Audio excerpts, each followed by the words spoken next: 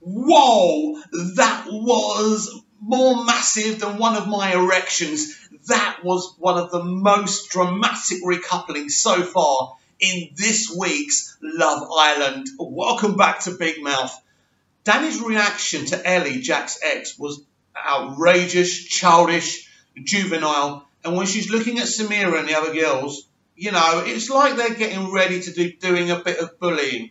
So if Dani does start to try and ostracize Ellie, Jack's ex, I think Dani is going to have a problem. But even more important, I think that Dani and Jack as a couple are going to have a problem. Who would Jack choose over Ellie, someone he's known for quite a while, or Dani, someone he's known for three weeks? We know the benefits of winning Love Island with Dani is uh, she's uh, Danny Dyer's daughter. There's 50 or 60k up for gra- grabs, and of course the fame game can we won more deeply if they're in that couple. But I believe there's another scenario here that people are not thinking about. I believe that Ellie and Jack could win Love Island. I, I actually believe that. I know it sounds insane. I know you're going to abuse me in the comments down below, but I believe that could actually happen. It was pretty outrageous what I saw.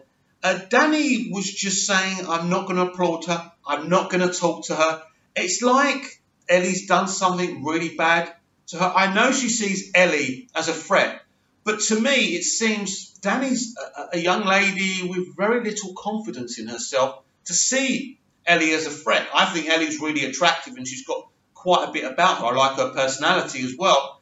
Although she, she does seem like the kind of young lady who can cope with whatever Dani's going to throw at her. The problem with Dani is she's obviously been spoiled. She's obviously used to getting her own way, and she doesn't like anything that's a threat to her getting what she wants.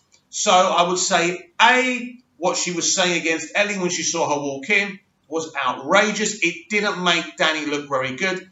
Her supporters will say, well, you know, it's a threat to her couple. I don't care. Her attitude, what she was doing, was wrong. Now, there, there was, I mean, there was so much going on within this recoupling. I mean, it was, it was, Caroline Flack was there, but who was taking any notice of Caroline Flack? The expressions on their faces, everything. And I mean, Ellie's reaction to Adam walking in with someone else as well was very telling. She called him a prick. Now, don't forget, Ellie and Adam are friends from, from before Love Island, and she's calling him a prick. Now, some girl kind of tapped me on Twitter and said, oh, yeah, well, uh, Zara and Ellie were mates. Well, actually, Ellie and Adam were mates before Zara ever walked into Love Island. So that wasn't the reason Ellie reacted so aggressively. And the look on her face was heartbreak. Ellie fancies Adam. I know Ellie like the back of my hand. It's obvious. That's why she was triggered when she saw Adam walk in with with what's her name? I forgot her name now, but yeah, um, I this is this is what I think, and and I think she definitely fancies Adam, and I think this is why she was so triggered. It was one of the most amazing telling things I've seen on reality TV. Love Island's a really interesting show because if if this was a kind of an American reality show, you could see how uh, fake it would look. But because it's English, that gives it some character and it does seem very real. I don't know if it is or not. Um, we've heard explanations before, but who knows? But yeah, Ellie's reaction to Adam walking in with someone else was very, very interesting. But what about my lad Alex? Yesterday, I thought he was going to team up with Charlie. Poor Charlie leaves and he teams up with Grace. Now, why did Alex decide this? Now, he all of a sudden wanted to get to know Grace. Or did he think Grace is someone who's slightly weaker We'll stick with him. Because I think Alex is another one who lacks a lot of confidence. I just, I could see Alex winning this thing with the right girl. I don't think Grace is the right girl. And the type of mentality who watch this show, I suppose, were never ever going to vote for Alex to win this show. Uh, you know, the mentality is you, you've got young girls watching this, and they're going to go for Georgia. They're going to go for Dani. Unfortunately, you could see one of those two winning it. But as I say, Ellie and Jack, if they were to admit they still like each other, I mean, listen, Dani's Dani's going insane now when she's still with Jack. How would she react if Jack and Ellie got together? I mean, it would be very, very interesting. Um, you would see a Dyer fall apart. And I think the fallout, not just on the show, but social media, would be explosive. Now, what about young Georgia? She said she wanted to stick with her man Josh. Yes, what Georgia? He was never your man. You played, uh, you backed the wrong horse. You played the wrong game. You were talking shit about keeping him on his toes. You didn't keep him on his toes. As soon as he found a better piece of skirt, he went for it. And he's going to do the same thing to her. I've got to go. I had to go with my gut, man. I had to go with my gut. Oh, what are you talking about? Why don't you just say the truth? I had to go with my dick, man. I had to go with my dick. You know, it, it, it would have been more honest at least. But, it, it, you know, so basically, I like him as a member of Love Island. He's a good character. I'm disappointed with what he did. I'm not a particularly a fan of Georgia. I don't, I, I don't like Megan, but I do feel she's right in her suspicions that Georgia's slightly fake She's going with this whole moralistic thing. I'm Georgia. I always do the right thing. I'm loyal, dude. And let's talk about this girl, girl code between uh, Dani and Georgia. They would bogwash each other just to get to that 60k or 50k before each other. So don't be fooled with them being mates. Laura was hilarious. She was loving the fact that Wes's gamble to leave her and join Megan failed. I mean, I love Laura. I mean, the guy she chose isn't going to go the distance. Um, he's not going. He's not going to be able to last with Laura. First of all, the only person who's ever going to satisfy Laura is me. Let's face it.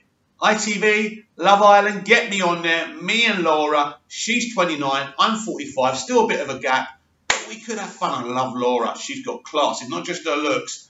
She's got. Oh, I've got such a crush on Laura. I tell you. Anyway, I've got to get over my Laura obsession, haven't I? It's never going to happen. So Laura was really funny. You know, Samira and her choice. You, you could, Samira and, and that guy are just a dead couple walking. Samira should have been jilted off the island weeks ago. Somehow she survived. Um, so you know, I, I, I just don't I just don't get Samira. Obviously, Sam's now with Ellie. Jack's ex, very interesting. I've been saying that Sam's a closet gay and he's pretending to be straight, but I actually feel sorry for him now because he's in a, him and Dani are in the middle of something that's been going on before Love Island. It's obvious to me, as I keep on saying, that Jack and Ellie are in love and something will happen there. And I just saw poor young Jack's face when Dani was giving all the aggression to his ex Ellie. Um, he thought, oh my God, this is going to be a tough one. And it is. It is Jack. I think Jack. See, I don't want Jack and Dani to win Love Island, but I think that Jack is just such a lovely lad. I just want to give him a big hug and take him out for a night out here in Napa. I just think he's such a nice lad and I, I really like him. He seems like a soft, gentle soul, don't he? So he's one of my favourites. So I guess if him and Dani did win, I'd still be kind of happy for him. But I do have issues with Dani, especially as I keep on saying, her reactions to Ellie, because Ellie has done nothing wrong. You know, everyone's going to want to be on Love Island. You know, if if I was approached, if one of your exes on Love Island would have come and mess mess her up, of course I would. Why not? I want to be on TV, don't I? So, not that I'm not busy enough with developing the first English speaking dramas here on Cypriot TV, but it would be fun to be on Love Island. Who could turn that down? And it's it could be free sex. Who's going to want to shag me on there? Yeah, uh, you've got a point, guys. I, I take that back. So, um, yeah, uh, Georgia is now single um, what's going to happen to Georgia now? Who can she get with?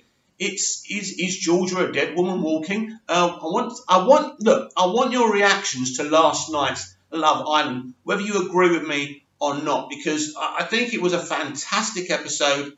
Uh, I think Flack's um, reaction to when uh, Josh was going on about my gut man, my gut man, she looked like she wanted to nut him. But Caroline Flack's no angel anyway, so she can't be really judging anyone in relationships, you know. Remember what happened when she was presenting X Factor and what happened with her and himself? Yeah, anyway, we do not want to go there, do we, Badmouth Caroline? Although, she's fun. Anyway, anyway, yeah, so a fantastic episode. I, I, I personally don't think we're any closer to finding out who's going to win this thing, who's going to go the distance. I think it's easy to kind of predict who won't go the distance. And something tells me people won't be targeting Adam so much now with Josh about. He's going to be public enemy number one. Can he survive? It's going to be a very interesting remaining week.